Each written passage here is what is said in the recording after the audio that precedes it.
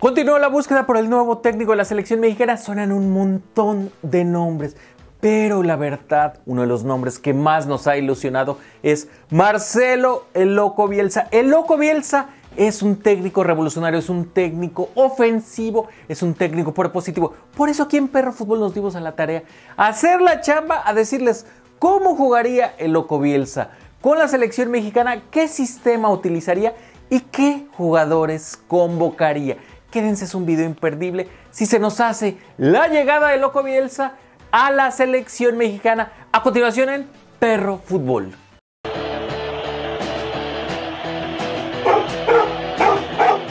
Ya que llegaron hasta acá, por favor no olviden suscribirse, pegarle a la campanita, compartir este video. Este video está de lujo. Díganme en los comentarios si a ustedes también los ilusiona que llegue un técnico tan ofensivo como lo es Marcelo el Loco Bielsa. Dejen atrás que es argentino. Este es un técnico que vale mucho la pena. Le cambió la cara para siempre a la selección chilena. Sentó los cimientos de esa selección chilena que terminó ganando dos veces seguidas la Copa América y ha cambiado la cara de todos los equipos por los que ha pasado. Marcelo Bielsa es uno de los mejores técnicos del mundo, a pesar de no tener los títulos. Todos los jugadores o gran parte de los jugadores que han pasado bajo sus manos dicen que Loco Bielsa los ha hecho ser mejores jugadores, que es un técnico irrepetible. Así que si se nos hace y llega Loco Bielsa a la selección mexicana, hay que estar preparados y hay que saber que viene una buena época para la selección mexicana, al menos una época más divertida, porque déjenme platicarles cómo juega el Loco Bielsa. El Loco Bielsa generalmente juega con un 4-3-3, pero no es un 4-3-3 tradicional. De entrada, al Loco Bielsa le gusta que sus jugadores intercambien posiciones, no tanto así como las rotaciones de Juan Carlos Osorio, sino que sus jugadores durante el partido sean capaces de intercambiar posiciones con otros jugadores. Le interesa mucho a Loco Bielsa lo que pasa en las bandas. Los laterales son laterales muy ofensivos, se convierten casi casi en extremos que llegan hasta la otra banda que llegan a, encarar a los laterales siguientes, los mediocampistas tienen que tener también mucho desgaste, mucho ida vuelta, pero sobre todas las cosas tienen que ser tipos que den buenos pases, tipos que tengan buen pie y que se la partan los 90 minutos. Es un sistema muy desgastante el de Loco Bielsa que requiere mucha disciplina. Por eso también en la portería necesita un portero disciplinado que sepa jugar con los pies. Centrales también que intenten tener salidas. Centrales que sean capaces de recibir pases y distribuir el juego. Eso es importante. No sabemos si México tiene ese tipo de jugadores, pero sí, aquí en Perro Fútbol nos dimos a la tarea de buscar ese tipo de jugadores. Así que empezamos con los jugadores que convocaría Marcelo Bielsa a la selección mexicana. De hay una parte muy importante en Marcelo Bielsa. A Marcelo Bielsa no solo no le tiembla la mano para convocar a jugadores jóvenes, le encanta que lleguen jugadores jóvenes y desarrollarlos. Los agarra frescos y los convierte en mejores jugadores. Lamentablemente en la portería pues no tenemos muchas opciones. Seguramente le daré la oportunidad finalmente a Carlos Acevedo que ya no es tan joven pero que ya viene con un recorrido, que ya viene con un proceso y está pidiendo a gritos la titularidad de la selección mexicana. Ahora sí, ahí lo interesante sería, ¿quién sería su suplente? Yo estoy seguro que buscaría a otros dos jugadores jóvenes. Olvídense de los Rodolfo Cota, de los Memo Ochoa, de los eh, Talavera, seguramente se iría por dos jugadores jóvenes para que complementaran la portería y esos yo creo que serían Luis Malagón y David Ochoa que ha llegado al San Luis y que es un prospecto México-americano muy interesante que le veo potencial para que se vaya al extranjero. Pero vámonos con Carlos Acevedo en el arco. Carlos Acevedo es un tipo disciplinado, es un tipo que puede desarrollar Marcelo Bielsa. Vamos a la defensa que ahí se pone bastante interesante. Empecemos con los laterales porque son muy importantes para Marcelo Bielsa. Bielsa quiere que los laterales vayan al ataque sin miedo. Y la verdad, los dos laterales más ofensivos que tiene la selección mexicana son los dos que fueron suplentes en Qatar 2022. Por una banda, Kevin Álvarez es una bala en el ataque, ataca mejor de lo que defiende, al igual que Gerardo Ortega que no tuvo un solo minuto con el Tata Martino y aquí sería pieza fundamental de Marcelo Bielsa porque es un tipo con mucho desequilibrio y que iría hasta el fondo por la banda izquierda. Suplentes puede ser Omar Campos, otro chico salido de la cantera del Santos que también tiene mucho desequilibrio y que seguramente en este proceso mundialista se va a salir, la va a romper, la va a, va a terminar consolidándose. Y por el otro lado me gusta que sea Julián Araujo, que seguramente va a ser del Galaxy y que también es un lateral súper ofensivo y que le gustaría a Marcelo Bielsa. Vamos con los centrales. Ahí sí hay un problema porque no tenemos centrales que sepan jugar tanto con el balón. Lo que sí es que tenemos centrales jóvenes que afortunadamente ya están en Europa y ahí sí a Bielsa no le pesaría la mano. Y sabemos que los puede desarrollar para que hagan lo necesario para salir jugando con el balón. Y esos centrales son César el Cachorro Montes y Johan Vázquez. Finalmente también como Gerardo Arteaga, que Johan Vázquez no tuvo un solo minuto, aquí con Marcelo Bielsa sería titular seguramente sí o sí. En la central podría ser que Emilio Lara, un tipo que también sabe jugar, que tiene esa dualidad que le gusta a Marcelo Bielsa, que sabe jugar como lateral y como central, podría pelearle la posición a alguno de ellos, pero sí tengan entendido que sería César Montes y Johan Vázquez, los centrales de Marcelo Bielsa. Vamos al medio campo porque hay algo aquí muy interesante. Marcelo Bielsa es un tipo que no juega como los demás. De hecho, Marcelo Bielsa es capaz también, a veces implementa un sistema bastante raro que es un 3-4-3. Eso quiere decir que juega con cuatro mediocampistas, pero no cuatro mediocampistas que están en el medio campo.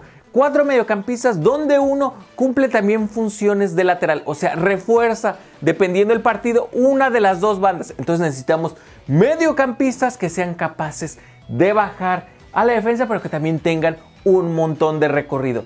Yo lo tengo claro en el medio centro y ojo con este porque también a Marcelo Bielsa le gustaría eso de cumplir también dos posiciones. Sería Edson Álvarez como mediocampista de contención con la posibilidad de que Edson Álvarez es capaz de bajar de la central porque también conoce esa posición.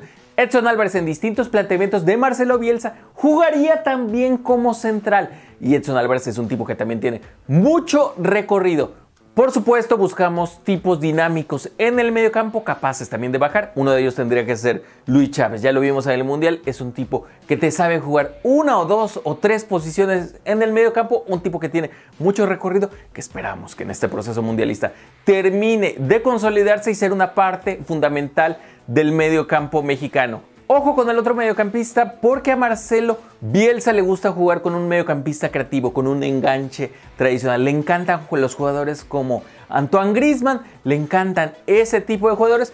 Y lo más parecido que tenemos a un Antoine Grisman versión mexicana sería Orbelín Pineda. Así que Marcelo Bielsa probablemente se la jugaría con Orbelín Pineda, aunque aunque ya les dije que Marcelo Bielsa le gusta apostar por los jóvenes y ahí se me ocurren varios nombres. Podría ser que en esa posición ya terminara apostando por Efraín Álvarez, un chico que es un gran prospecto del Galaxy, que también seguramente en uno o dos años se va a ir al fútbol europeo, que ya está palabrado con la selección mexicana, que apenas tiene 20 años y que es un mediocampista creativo bastante interesante. También está el caso de Jordan Carrillo, que ya finalmente está teniendo minutos muy buenos en la segunda división española, también muy joven, con un montón de desequilibrio.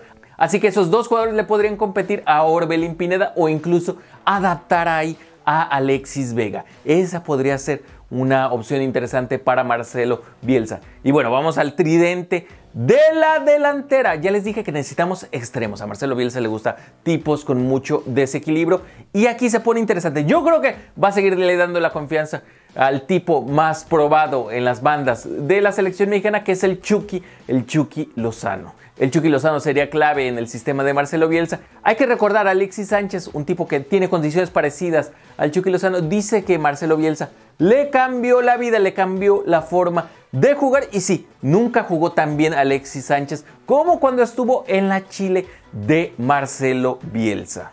Por la otra banda, yo creo que Marcelo Bielsa trataría de recuperar la mejor versión de Diego Lainez. Hay que recordar que Diego Lainez todavía es muy joven y tiene ese desequilibrio, tiene ese eh, espíritu caracolero que le gusta. A Marcelo Bielsa sería un tipo que llega hasta la línea de fondo y veremos si lo puede recuperar. Hay muchas opciones, está también el Tecatito que todavía está en edad, Marcelo Flores, está por supuesto Alejandro Sendejas, hay muchas opciones para esa posición, pero yo creo que usaría a Diego Lainez.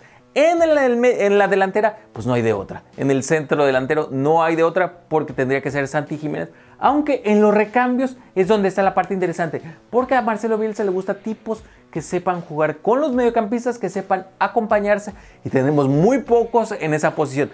quizás trataría de reconvertir a Alexis Vega en uno de esos jugadores, en un falso 9. Quizás trataría de recuperar a José Juan Macías de las Chivas, que tiene años perdido, que no recupera su nivel, pero quizás recuperar esa versión que del León de Nacho Ambriz, donde José Juan Macías hacía eso, se acompañaba muy bien con los mediocampistas, o quizás se rinda y diga, pues transforme a Santi Jiménez en un tipo que se pueda capaz, que sea capaz de asociarse más con los mediocampistas y los extremos y que no esté tan clavado en el centro delantero. Pero ya vamos al 11 que pondría Marcelo Bielsa. Vamos al 11 de Marcelo Bielsa. En la portería, Carlos Acevedo sería su portero. Los laterales súper ofensivos sería Gerardo Arteaga por la izquierda y sería, por supuesto, Kevin Álvarez por la derecha. Los centrales, centrales jóvenes con mucha proyección que juegan en Europa, Johan Vázquez y César el Cachorro Montes.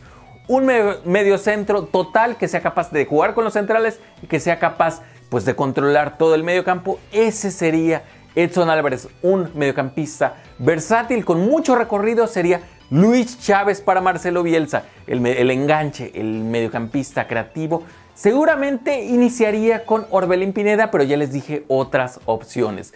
Y en la delantera apostaría en un principio por el Chucky Lozano por toda la experiencia y el desequilibrio que tiene. Ya les dije que por el otro lado trataría de recuperar a Diego Laines y sí, su 9 de momento hasta el momento sería sí o sí Santi Jiménez. En la banca tendríamos recambios bastante interesantes. De entrada en la portería tendríamos a David Ochoa, tendríamos en las laterales a Julián Araujo, a Omar Campos, en la central tendríamos a Emilio Lara o incluso a Edson Álvarez reconvertido a central. En el medio campo tendríamos a tipos como Eric Sánchez, Efraín Álvarez, eh, Jordan Carrillo, en el enganche Jeremy Márquez. Hay muchas opciones jóvenes. Y en la delantera, pues ya les dije, está ahí como recambio. Si sigue jugando Tecatito Corona, Alejandro Sendejas, Marcelo Flores, que puede ser un proyecto interesante para Marcelo Bielsa. Y por supuesto, no sabemos si juegue con un falso 9 como Alexis Vega, José Juan Macías o salga un nuevo delantero que todavía no tenemos en el radar. Pero así creemos que jugaría Marcelo Bielsa si llega a la selección mexicana. Si a ustedes les ilusiona que llegue Marcelo Bielsa a la selección mexicana, háganmelo saber en los comentarios. A mí, la verdad, sí. No olviden suscribirse, picarle a la campanita. Nosotros nos vemos en el próximo Perro Fútbol.